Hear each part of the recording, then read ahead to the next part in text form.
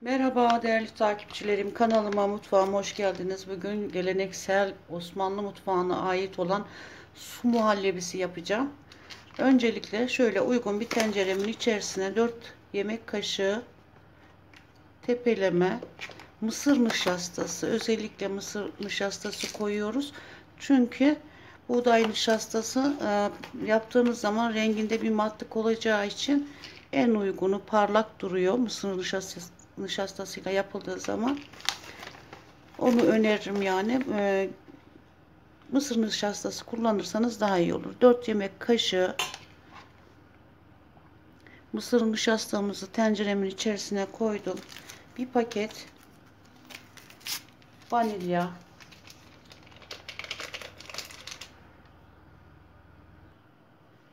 Bir su bardağı şekerimiz var Önce bir tüm koyduğumuz malzemeleri şöyle kaşıkla bir karıştıralım. Üzerine 2 su bardağı su ilave ediyoruz. Önce bir karıştıralım şöyle. Sonra ikinci su bardağımızı ve 2 su bardağı da süt ilave ediyorum.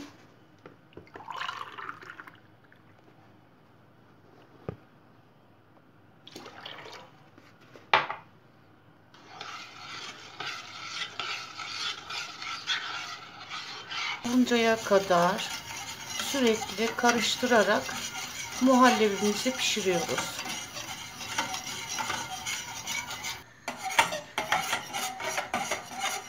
Özellikle mısır nişastasıyla yapmanızı tavsiye ederim.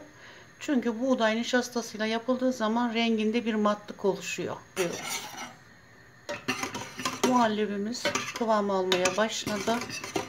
1-2 dakika daha bu şekilde devam ediyorum ve ocağımın altını kapatacağım.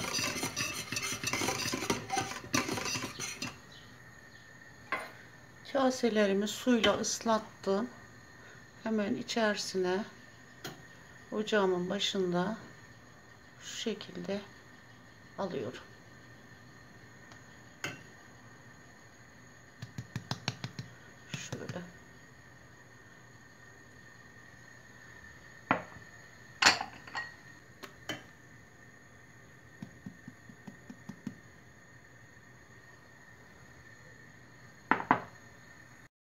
Su e, muhallebeler, muhallebimizi kasemizin içerisine aldıktan sonra oda sıcaklığında soğutuyoruz. Sonra buzdolabımızın dondurucu kısmında 40-45 dakika kadar bekle, bekliyoruz. Sonra servis yapıyoruz. Şimdi muhallebimiz soğusun bu şekilde. Sonra derin dondurucuya kat, e, koyacağım. Sonra da servisini yapacağım.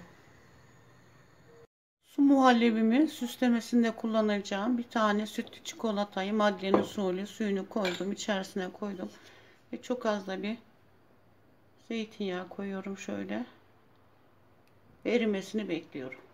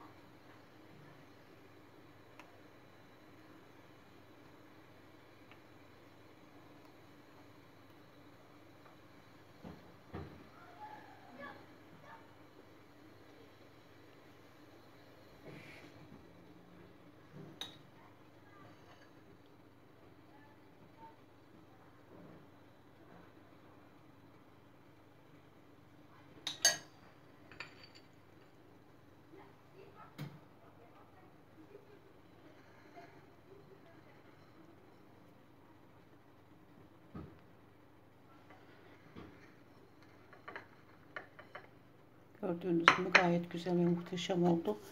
Evet değerli takipçilerim bir videomun daha sonuna geldik. Valide Sultan ile Her şey YouTube kanalına abone olmayı, bildirim zilini açarsanız, güzel yorum yaparsanız ve paylaşım yaparsanız çok sevinirim.